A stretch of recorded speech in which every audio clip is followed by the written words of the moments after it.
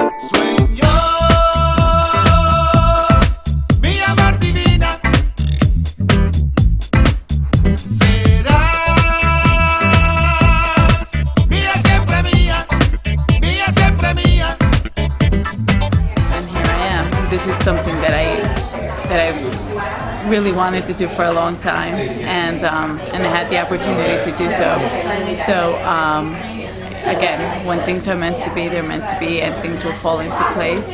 So um, I was able to pull myself together, and you know, here I am in a fashion runway show for the first time.